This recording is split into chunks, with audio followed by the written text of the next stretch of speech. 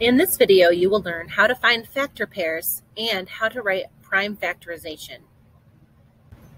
What is a factor pair? Since 2 is a factor of 10 and 2 times 5 equals 10, then 5 is also a factor of 10. This pair of numbers, 2 and 5, is called a factor pair of 10. Another factor pair of 10 is 1 and 10. Let's try our first example of finding factor pairs. The brass section of a marching band has 30 members. The band director arranges the brass section into rows. Each row has the same number of members. How many possible arrangements are there? Use the factor pairs of 30 to find the number of arrangements. So 30 could be 1 times 30, which is one row of 30 or 30 rows of 1. It could be 2 times 15, 2 rows of 15 or 15 rows of 2. Could be 3 times 10, 3 rows of 10 or 10 rows of 3. It could be 5 times 6, 5 rows of 6 or 6 rows of 5. And 30 can also be 6 times 5. Oh, but we've already used that factor pair. 5 and 6 is going to be the same as 6 and 5. So we can stop now. This gives us eight possible arrangements. Now it's your turn to try some examples. Pause the video and try these four questions, then start the video back up and see how you did.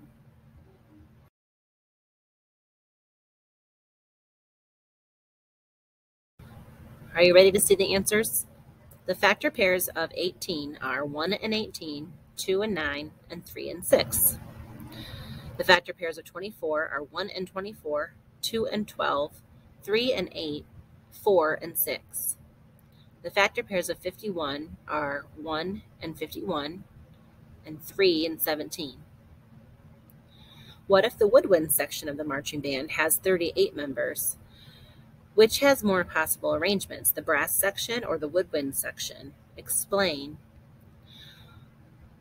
Well, we could make one row of 38 or 38 rows of one, or we could make two rows of 19 or 19 rows of two, but that's really the only thing we could do with the woodwinds. So there are only four possible arrangements for the woodwinds.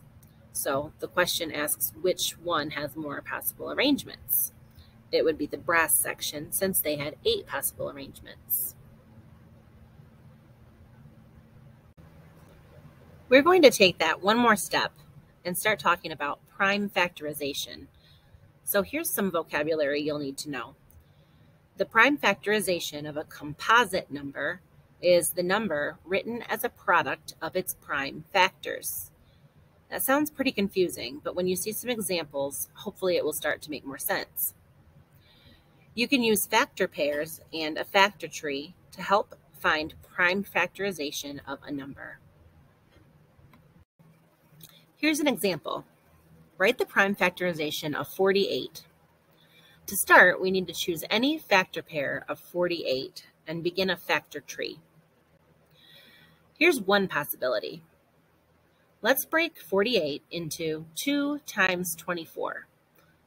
So you can see we have branches coming off of 48, and we put the factor pair right next to each other. So 2 and 24. Now 2 is a prime number, prime number is a number whose only factors are 1 and itself. So 2 doesn't have any other factors except 1 and 2. 24 is not a prime number. It's still a composite number, so we can still break it down further. We could break 24 into 2 times 12. Again, 2 is a prime number, so we're going to circle the prime numbers as we go, but 12 is not a prime number.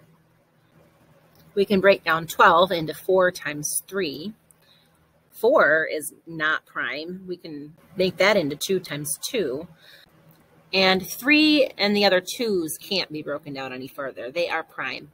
So we have 2, 2, 2, 2, and 3. 48 is equal to 2 times 2 times 3 times 2 times 2. Let's look at another possibility we can break down 48 into 3 times 16 instead of 2 times 24. 3 is a prime number, but 16 is not. 16 we could break into 4 times 4, and neither of those are prime, but we can break both 4 and 4 into 2 times 2. So now we have 3 times 2 times 2 times 2 times 2. Well, notice that both of these have four twos and a 3. So 48 is equal to 2 to the fourth power times 3. That's how to write a prime factorization. You find a factor pair and draw the branches. You circle the prime factors as you find them, and you find factors until each branch ends at a prime factor. Now it's your turn to try a couple problems. Pause the video, try these four problems, and then start the video back up and see how you did.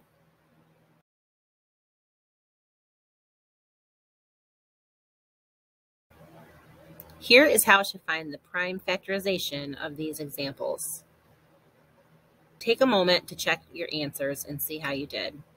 If you made mistakes, make sure you look and see what mistakes you made and fix them.